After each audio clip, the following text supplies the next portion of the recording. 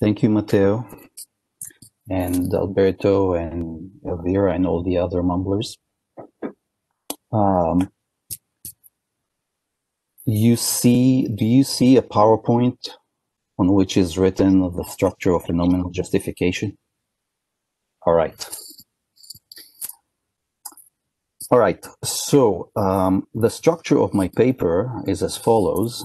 First, I'll introduce a view, which I'll call phenomenal dogmatism, claiming no uh, originality there. Then I'll present an objection from the extant literature to this uh, view. I'm going to uh, tell you what the standard response to this is, which um, invokes the content attitude distinction. And for, this will lead me to a general challenge to phenomenal dogmatism, what that I call the uniqueness challenge, and I'll propose an answer to this challenge, which will invoke again centrally the content attitude distinction hence the distinction between, uh, hence the relevance to uh, to the question of the relationship between intentionality and consciousness. Also, I should mention that uh, today's talk will feature the work of British artist Gwyneth Rowlands, uh, work which is not relevant in any way to anything I'm going to talk about. And it's just there to uh, make the making of PowerPoints marginally less tedious. I think someone's mic is open. It might be Elvira's. Oh, yes.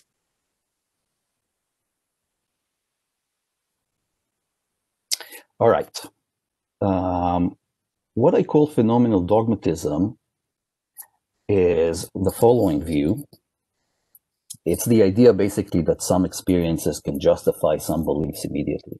So for some experience E and belief B, one, E provide immediate prima facie epistemic justification for B, and two, E does so in virtue of the sum of E's phenomenal properties.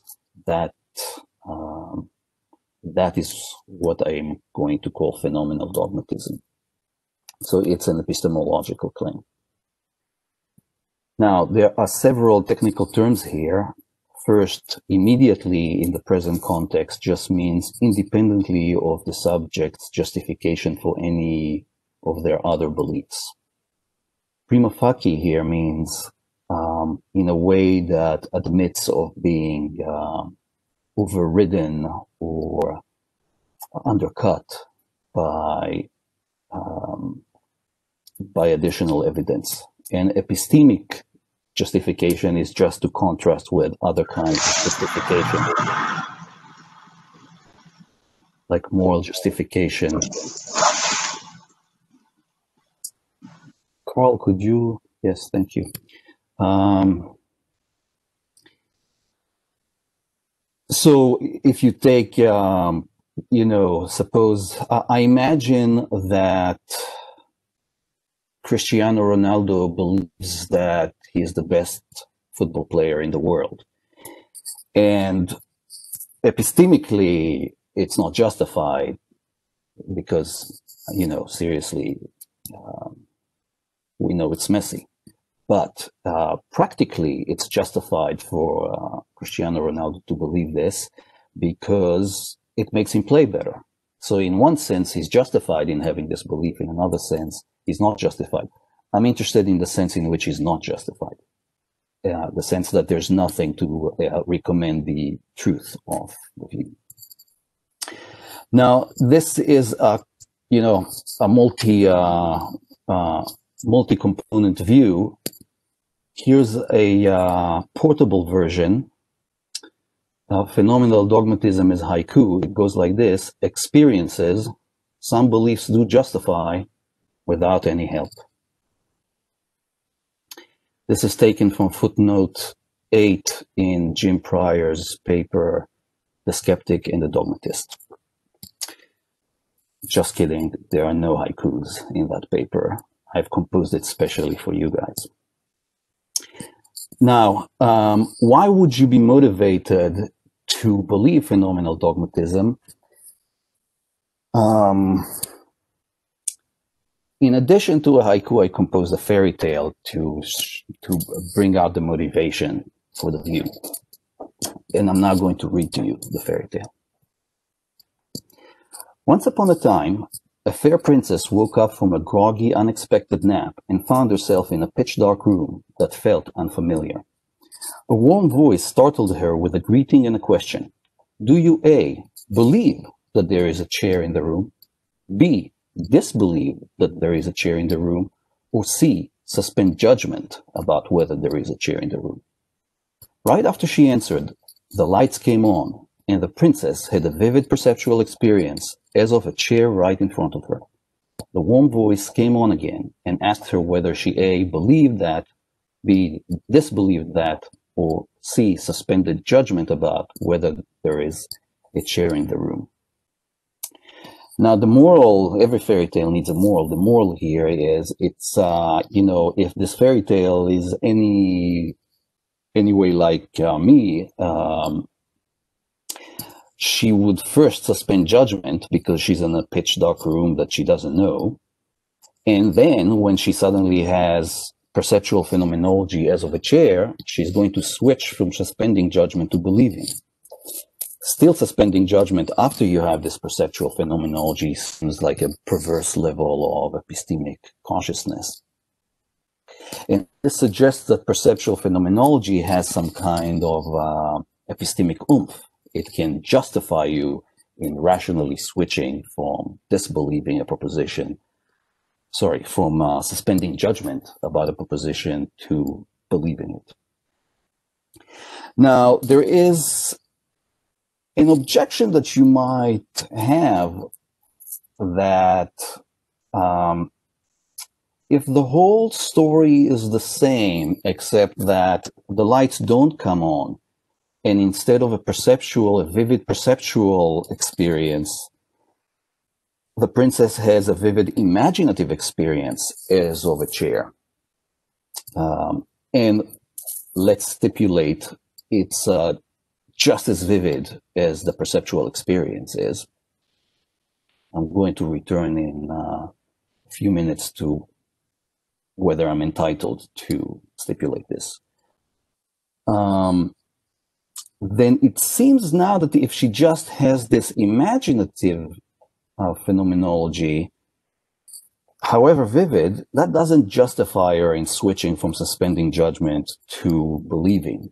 So um, uh, could it really be the phenomenology that justifies this switch, this epi epistemic switch? There are two ways to respond to this. Um,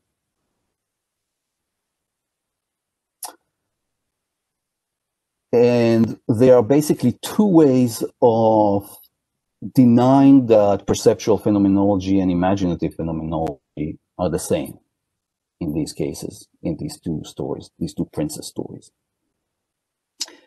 The first version is to say that the chair equality of imaginative chair phenomenology can never match the, the chair equality of a perceptual chair phenomenology.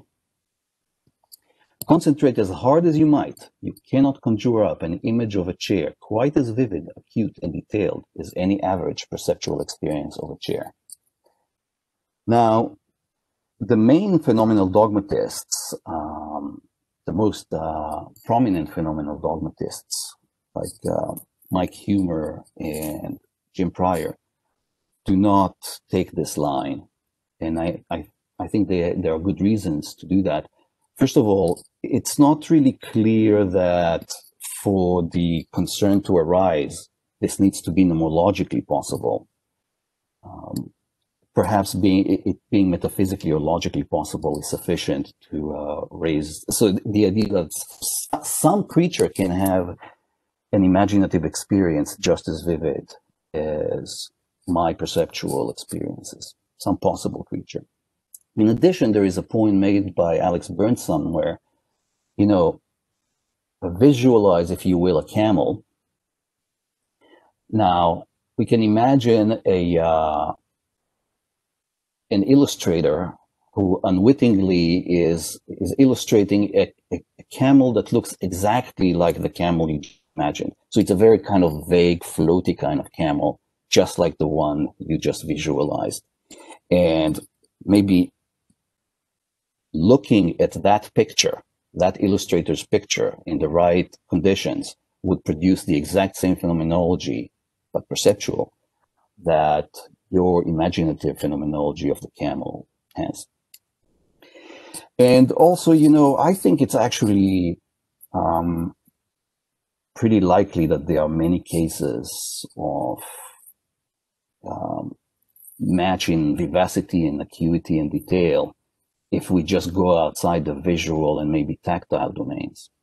So if I, you know, imagine the smell of a good Torino espresso um, versus taste, or sorry, not taste, uh, versus uh, actually smell um, the coffee of uh, some uh, Texas diner, it's possible that the uh, the vivacity and acuity and detail are going to be kind of matched more or less.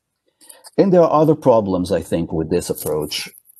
What uh, Huemer and Pryor do is that they go for a, a different approach, which I also prefer, which says that in addition to its cherry quality, a perceptual chair experience also has a subtle quality of perceptuality.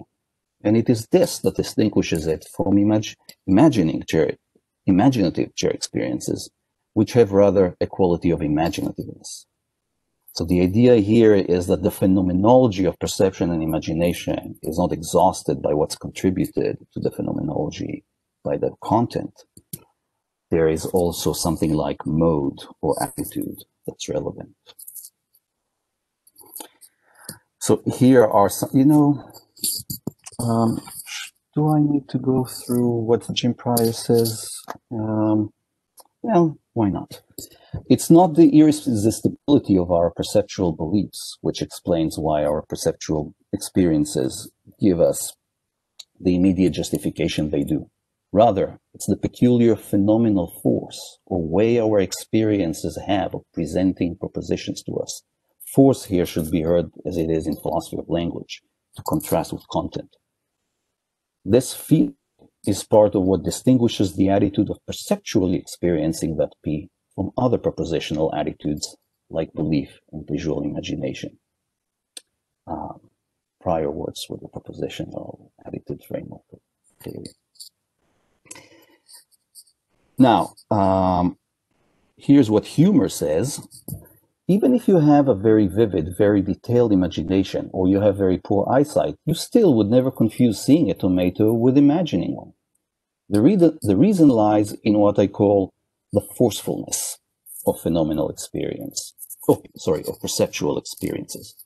Perceptual experiences represent their contents as actualized. States of merely imagining do not. When you have a visual experience of a tomato, it thereby seems to you as if the tomato is actually present then and there.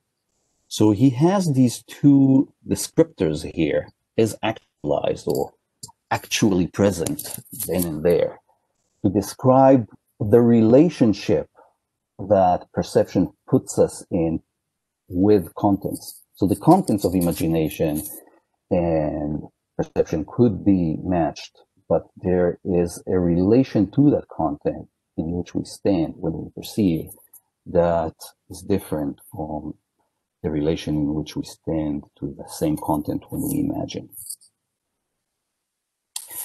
So the, the idea here is that perceiving a white rabbit and imagining a white rabbit can be phenomenally different, even if the white rabbit presented is the same, because perceiving and imagining is different. Now, how can we get underneath this uh, difference between perceiving and imagining?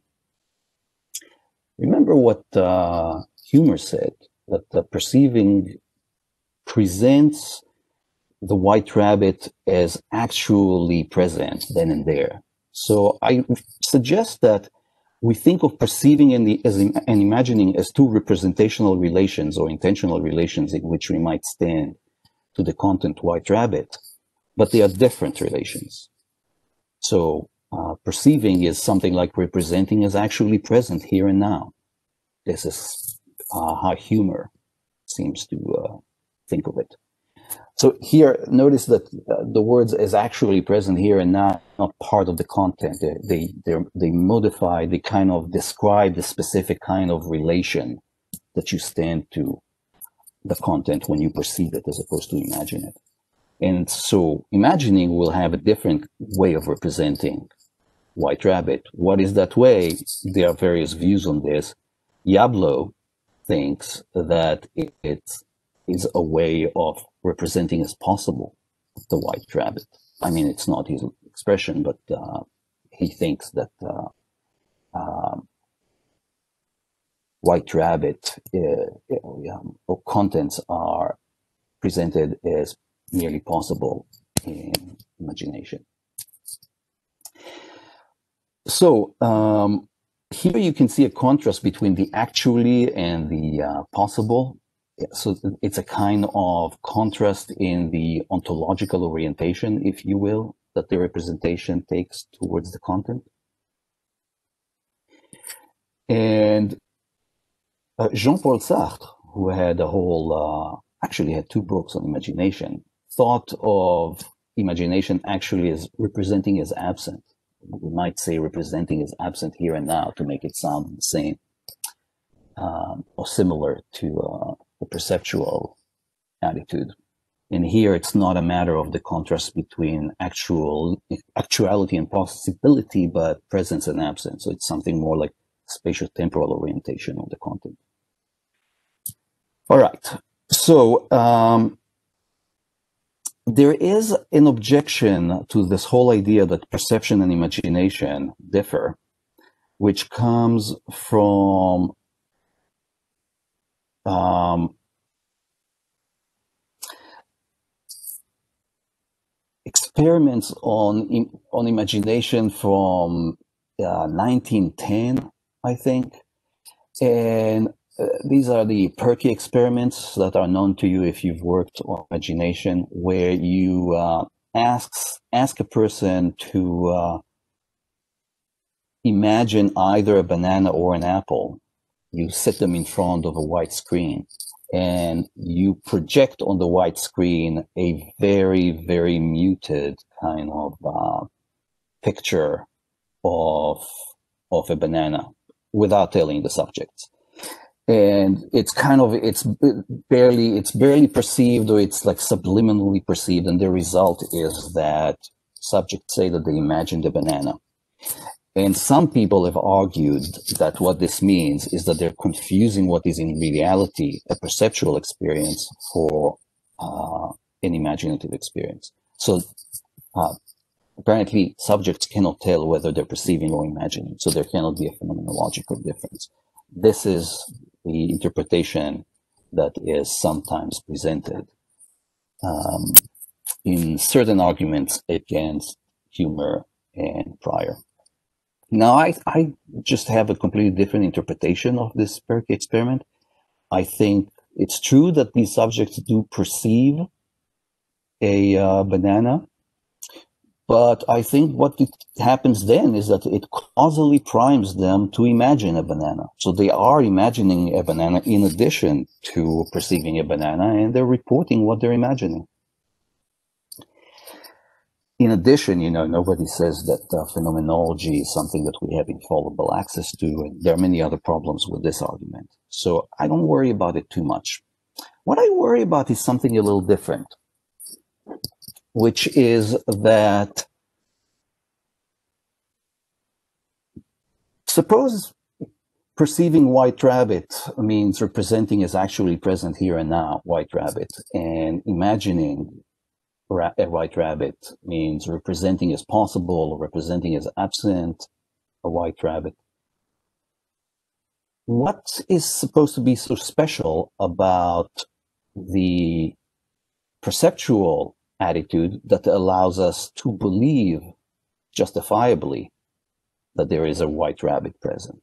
Um, why, um, why is, why is the imaginative attitude um, not good enough?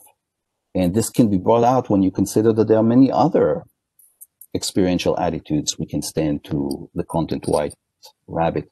We can, for example, recall seeing your white rabbit. And I, for one, would hold that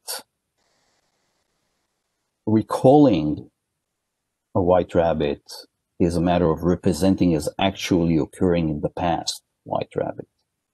And so this is a kind of uh, recollection has its own way of relating to the same content.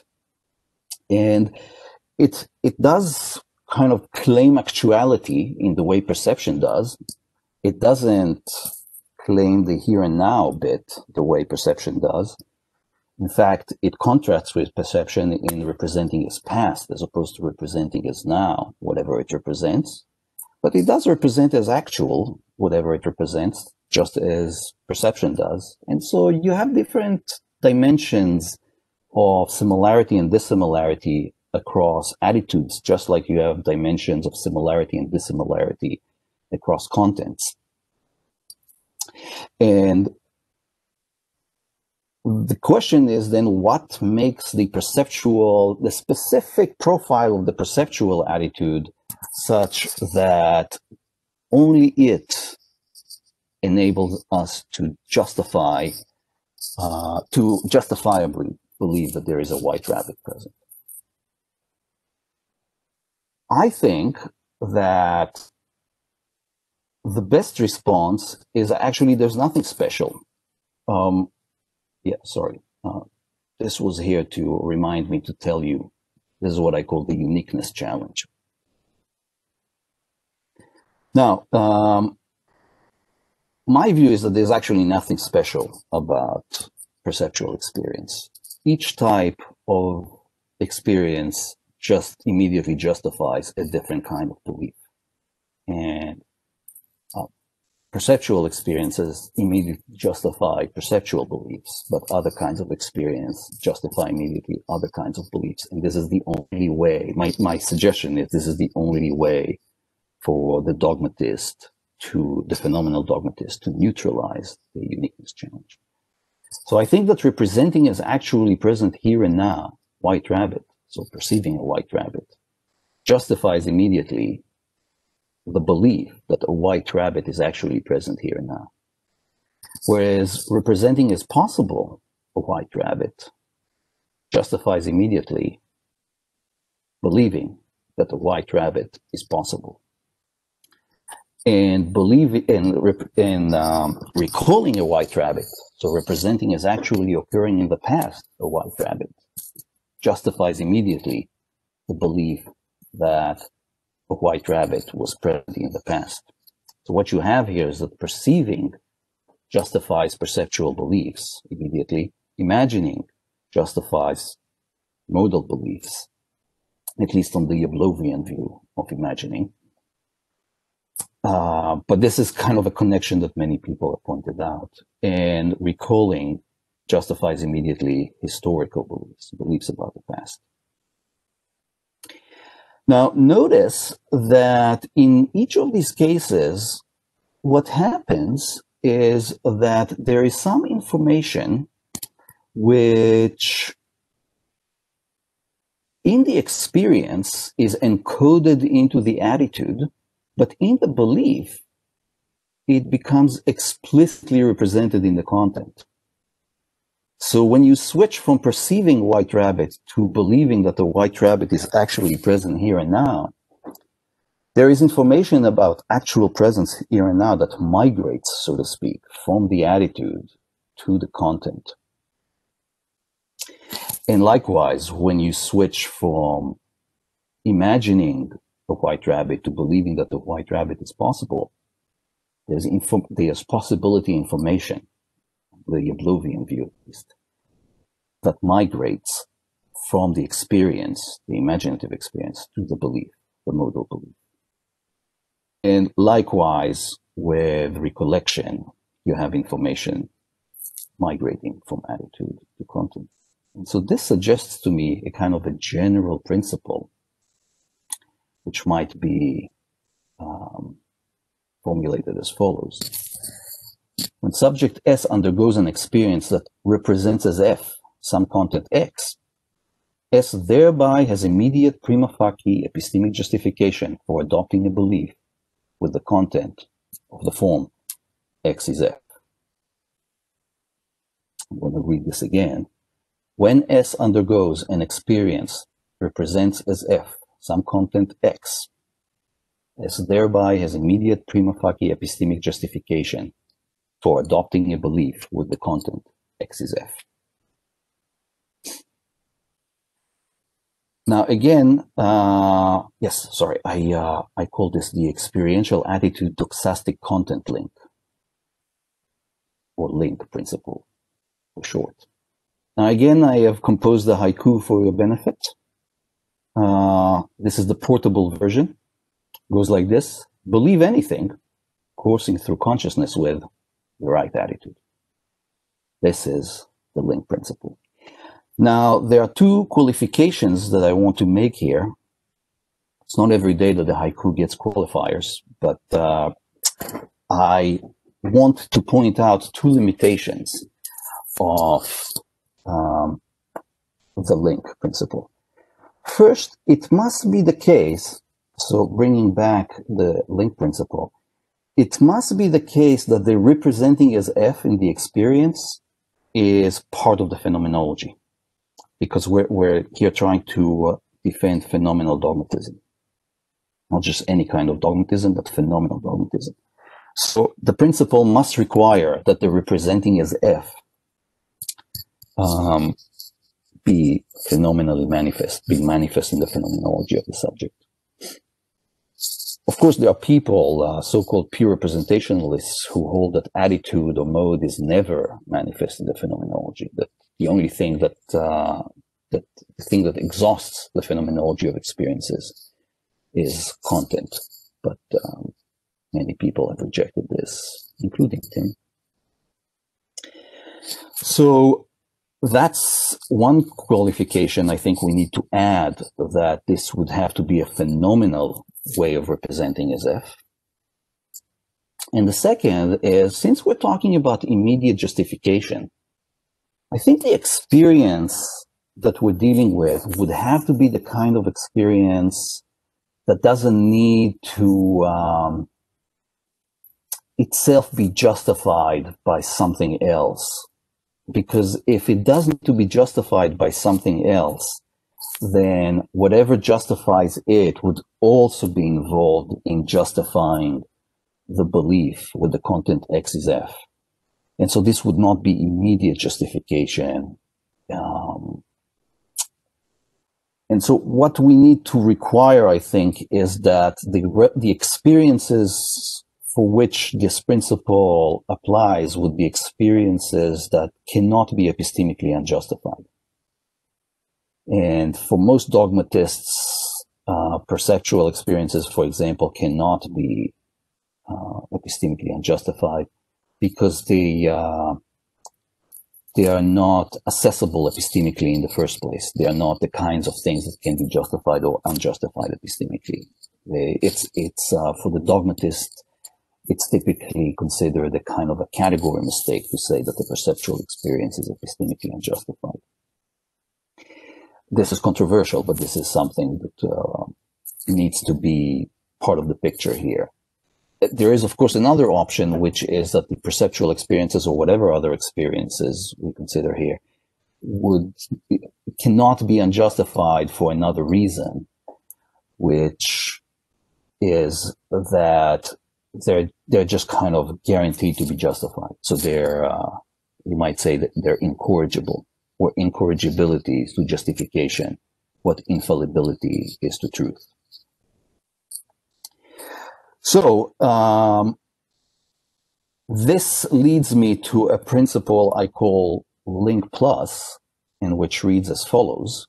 For any experience E, if one, E cannot be unjustified, and two, phenomenally represents S, sorry, represents as F some content X, then E provides immediate prima facie epistemic justification for believing that X is F. This is all I wanted to tell you, really, that uh, this principle is the kind of thing the phenomenal dogmatist should incorporate into her view in order to um, neutralize the uniqueness challenge. But I think there's a lot um, to be said for this principle, and I'm going to end with some um, virtues of this principle, the, what I call link plus. So, of course, there is the point that it meets the uniqueness challenge, but there's also the point, this was uh, pointed out to me by Anna Giustina, that it's uh, the, the extension of phenomenal dogmatism beyond the perceptual case to the imaginative case, the um, uh, recollective case, and maybe other cases is motivated by the same kind of everyday examples that usually motivate phenomenal dogmatists when they discuss the perceptual case. So, you know, uh, Jim Pryor um, says somewhere that the best argument for dogmatism is the argument from examples, which means if you just reflect, if you just reflect on everyday examples, you will see that it's a very plausible view. So uh, think about it this way. Um, uh, you see, um, you see uh, your friend Dave and someone says to you, "How uh, how do you know Dave um, Dave is present? What uh, what makes you so sure that Dave is present?" You say, "Well, I'm looking right at him. There's Dave," and it seems like a very natural response. That this is kind of it's uh, it's a bit epistemically demanding to ask you to like cite further considerations to be prima facie justified, mind you. That not, we're not talking about ultima facie justification here. To be prima facie justified that Dave is in the room, you just need to have a perceptual experience of Dave. Uh, that's uh, in most circumstances that would give that would justify you in believing that he's in the, in the room. Now, if you think about uh, how this extends to memory, if someone says to you, um, how can you be sure that uh, Tim gave the talk, the previous talk? And say, hey, I, uh, I recall it very clearly. It was, was barely an hour ago. It wasn't even an hour ago. I remember it very clearly. And this seems like a very natural way to justify yourself when uh, asked, why do you believe? How, how, can you be so sure that Tim gave the previous Tim gave the previous talk? And um, likewise, if someone asks you, how can you be so sure that pigs can fly? Uh, or let's rephrase it. Uh, how can you be so sure that flying pigs are possible? It's actually a bit tricky because uh, possible and can and could are used by the folk usually to to express not metaphysical or logical or conceptual possibility, but nomic possibility. Um, so this uh, Well, imagine you are trying to, you, you want to move your desk from the living room to the bedroom, and someone says, How can you be so sure that it will pass through the door? You say, Well, I'm imagining it. It's it's so much smaller than the door is so much wider than the, than this desk. I can imagine clearly how it passes through. So these are, there is kind of a natural extension uh, of the motivation, the original motivation from, for phenomenal dogmatism from the perceptual case to other cases. There is also um, another virtue, which is it we, we seem to be blameless when we move from perceiving um, you know, um, a desk to believing that the desk is present.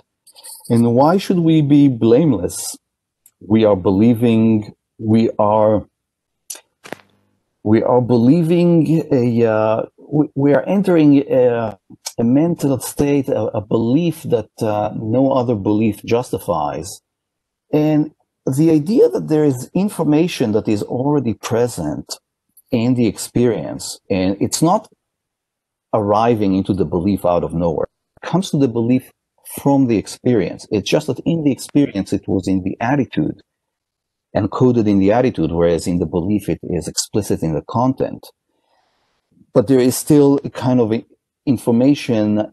There's no new information that's being kind of incorporated into the belief. It's uh, it's information that the system was already representing or it was already encoded in the system's representational states, I should say. I think that kind of it goes some way towards uh, justifying. Um, Matteo, you're trying to tell me something, I think. Are you telling me that there's five minutes? I need only four. Um, okay, there is a certain division of epistemic labor here in this picture between attitude and content. Um, the attitude that an experience has or the mode decides the kind of belief um, that gets that gets justified because perceptual experience has the kind of representational attitude that it does, the kind of beliefs that it justifies are perceptual beliefs rather than modal beliefs or imagine or um, historical beliefs. And it's because recollection has the kind of uh, attitude that it does, that what it justifies, is historical beliefs rather than other kinds of beliefs. So it's the it's the attitude that decides what kind of belief can be immediately justified. But it's the content of the experience that decides what specific uh, belief of that kind can be epistemically justified. A white rabbit um, belief, or uh, desk belief, or tomato belief, or whatever. So there is a kind of an elegant, and this is kind of the next point, is a kind of an elegant and unified account of how phenomenal justification works. And it comes uh, from um, more fully appreciating the attitude content structure, the intentional structure involving both attitude and content, both mode and object, as it sometimes uh, put, that phenomenal experiences have. And a sixth advantage that uh, I correctly uh, suspected I may not have a lot of time to go into is that there are cases in the literature where a kind of a dogmatism is debated and Link Plus will give us a handle on how to move forward. So I can't really go into this, but some people have held that emotional experiences immediately justify evaluative beliefs uh, somewhat in the way perceptual experiences immediately justify perceptual beliefs. And so other people's people have denied this, and there's something of a debate in the literature. And um, here we have a, a, theoretical perspective with which to kind of move forward on this debate. We just say, well, does link produce the right result?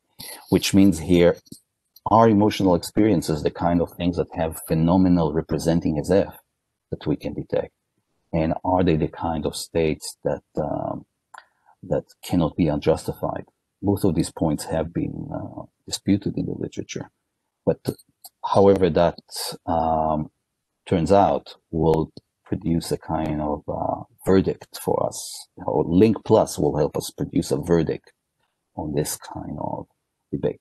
And so these are the um, these are the advantages of Link Plus uh, principle, a kind of a structural principle connecting experiential attitudes with doxastic contents that kind of undergirds and underlies, I propose, um, immediate phenomenal justification. Now, there are other problems with the idea of phenomen immediate phenomenal justification coming from Bayesian epistemology, from Sellarsian reflections on what it takes to justify that none of this speaks to. Um, this speaks only to one issue, the uniqueness challenge. Um, and uh, um, that's it. Thank you.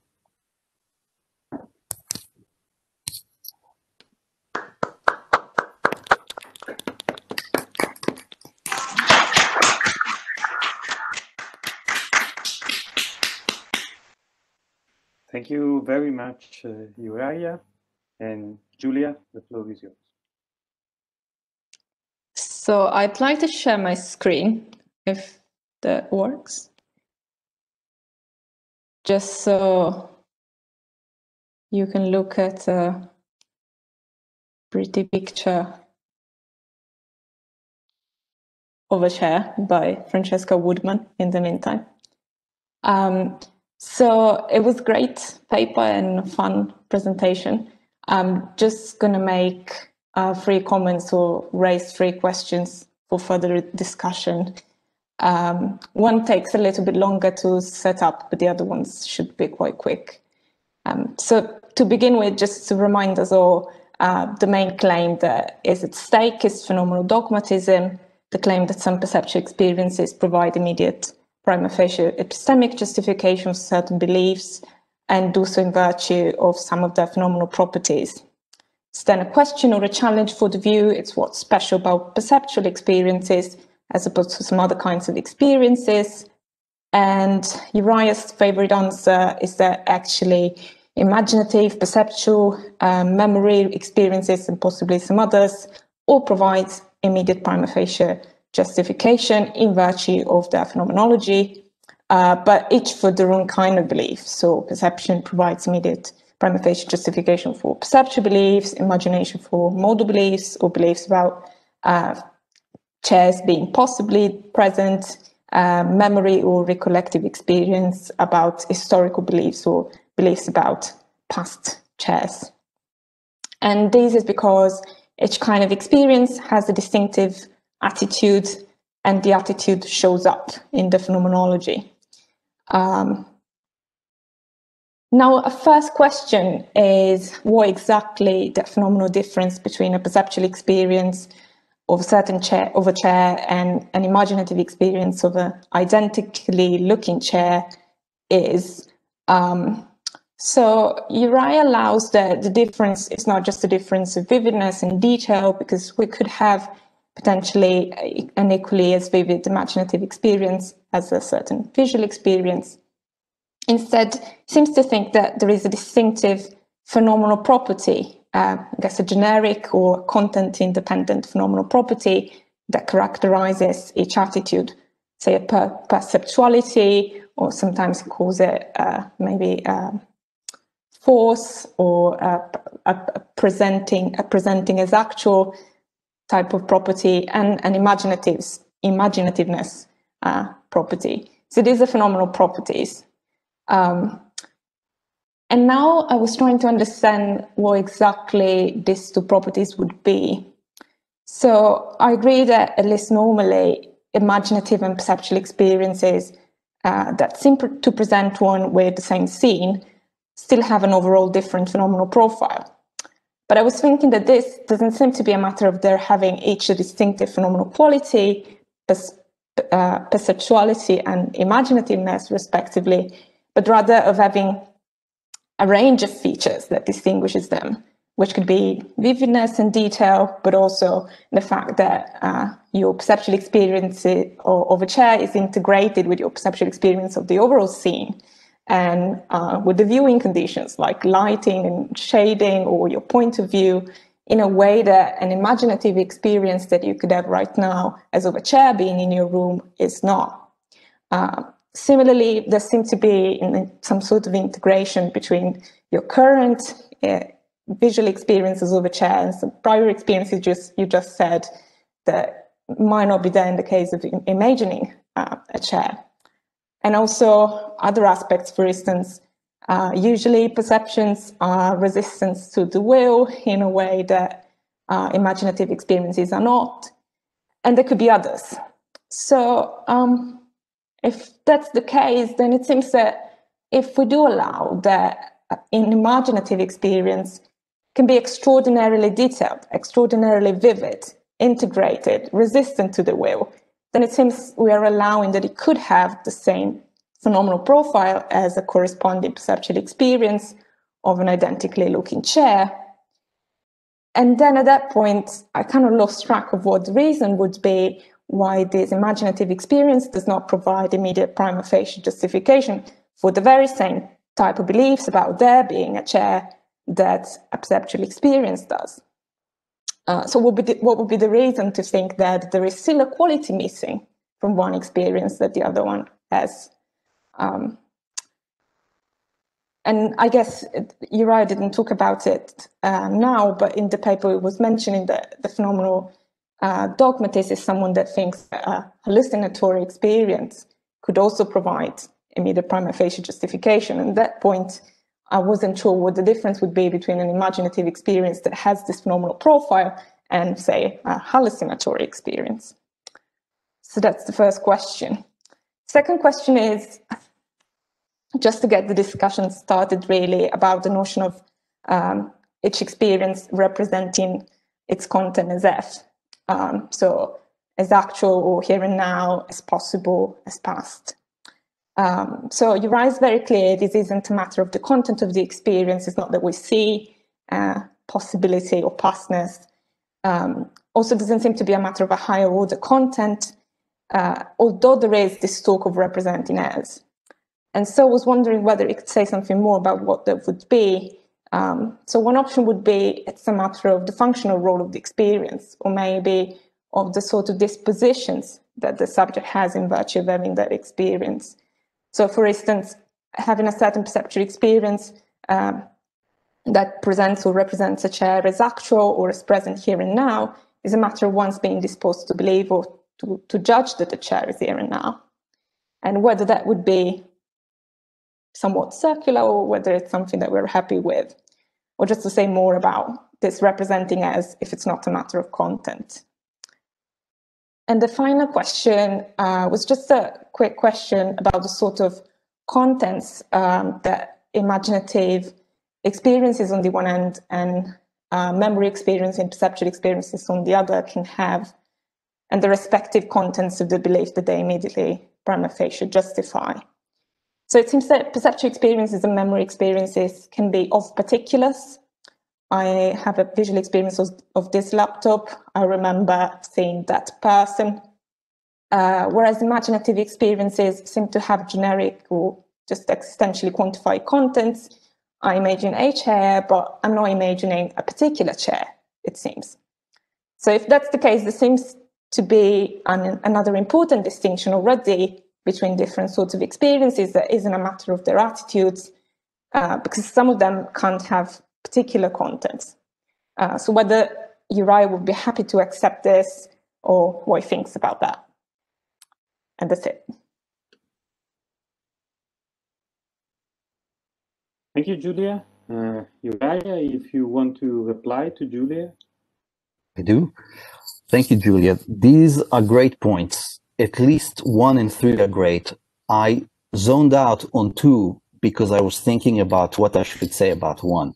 And so I might want you to repeat what uh, point two was very soon. But on one, um, yeah, there are several, there's a couple of really good points you're making. The first is that, well, the first that I would make, it's not exactly the way you meant it, but the way I would make it is um, even if there is this difference, attitudinal difference about manners of representing that I'm talking about, representing as F versus representing as G, there seem to be a number of other differences, uh, like uh, issues of uh, how it integrates uh, into other things, how it resists to the will. And so there's one question that you one might raise is, why not bank on these features rather than on those that I am banking on to, to do the epistemic di- uh, difference, to account for the epistemic difference. But in addition, you say, once we try to match for all of these features, you say, I'm not, I'm not getting this additional thing that you're claiming, this representing as F versus representing as G that occurs in the two experiences. The first thing I want to say about that is in terms of just how the paper works, I am just working here with something that both Pryor and Huemer seem to agree on. That there is something that goes to the force, where force needs to be heard like attitude, more or less. Um, you know, illocutionary uh, force and all that stuff. Um, it's a bit like attitude or mode uh, in the mind. But in addition, I recognize that these kinds of phenomenal features are going to be very, very subtle, much more subtle than uh, the quality of pain or red. And so they're more controversial, and some, someone could legitimately deny that they really are part of our stream of consciousness. But I think the actually the case of the contrast of imagination and hallucination is useful here because the difference for me is that hallucination seems to be the kind of thing that tells you this is really happening. Now, it may be accompanied by a belief, you know, if you're high on acid and you have this kind of hallucinatory experience, you may at the same time have a belief that kind of vetoes that experience and, and says, do not endorse this experience. Uh, do not, uh, the, the experience misrepresents the world. But the, as far as the experience itself is concerned, what it says is that this is how the world is. And this is different from imagination, um, I want to say. And so this is now there is a point about the will resistance that I, I find that it's it's particularly hard to create a match uh, of will resistance because you could it's a legitimate hypothesis to say it's because you know um, imagination does not resist the will that we know that this this stuff comes from us and not from the world or something like that and so I recognize that there's something there that requires more digging into, and um, I don't really know immediately what to say. Um, I suppose I have to kind of suggest that even when we talk about imagine, imaginative experiences that come to us unbidden, um, um, they justify modal beliefs, but not perceptual beliefs. Yeah. Now, like I said, point two I missed. Um, can you say very quickly uh, what it was? So it was just uh, a request to have a bit more of an explanation of what of representing as uh, to amount to. So I guess in the, in the slides you used this hyphen hyphenated construction. So that might help. Um, because when I hear a talk of experience representing its content as, I mean, representing as to me reminds me of talk of content, but you made it clear that uh, the pastness, the actuality, the possibility they are not part of the content. And I take it they're also not part of some sort of higher order content. It's built into the attitude, say in the paper, baked into the attitude. Um, so are you using the talk of representing as to help yourself to something? Or I was thinking maybe you think that there's some connection between uh, the experience and the sort of more general dispositions that one has in virtue of having that experience. And so one might think um, having a certain visual experience that presents you with a chair is actual or presents as actual with a chair. Um, disposes you to have a belief that, uh, and that's why we talk of of representing us. So you're just helping yourself to that notion, but it's nothing to do with representation. That that was the main question. Yeah. Uh, so I want to say it does have something to do with representation, but not with what is being represented, but with how it's being represented. So there is, there is, you know, the thing that's being represented, or you know, the content, and then there are, I want to say, their representation really is a genus that has many species. Now, the correct way to name these species is representing one, representing two, representing three, representing four, and so on. And just assign a number to each of the however many experiential non-experiential ways of representing we have, ways of relating representationally to content. Now, these kind of hyphenated expressions are intended to wink at how what what is the special so what is they they kind of describe there's something kind of uh, um, I, I am helping myself here to something that I'm not allowed to in some sense because uh, they really should be just numbered relations. And I'm putting these words in there by way of winking to the kind of uh, giving you an indirect uh, grasp of what these uh, representation relations are. Now, um, and what distinguishes them one for the other. Now, the thing that justifies, I think, using those words and not others in each case, um, what I really believe is that it it's because those are the things those are the words we would use to express the beliefs that we can justifiably form by endorsing these kinds of experiences. Of course, if I say it here as part of the paper, the whole thing becomes circular. But it, it is really what I believe uh, uh, justifies the use of these particular words. So that's a good point. And the third point was also a very good point about uh, singular versus existentially quantified contents. Now, you made some claims that one can accept, but one may not. For example, that perceptual experience has singular content rather than ex, uh, existentially quantified content.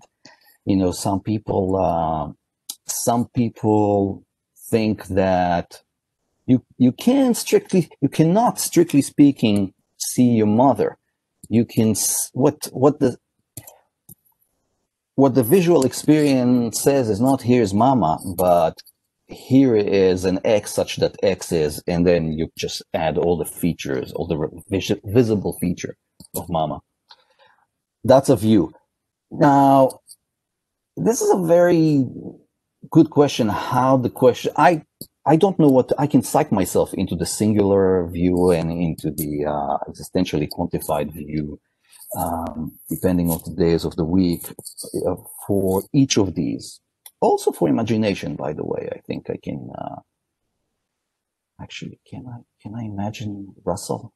I think I can imagine Russell. Am I failing? And I'm just imagining a uh, X such that X looks like Russell. Um, I don't know. These are very difficult questions for me. I don't know what to think about them. And there is a good question about how that interacts in terms of uh, um, should we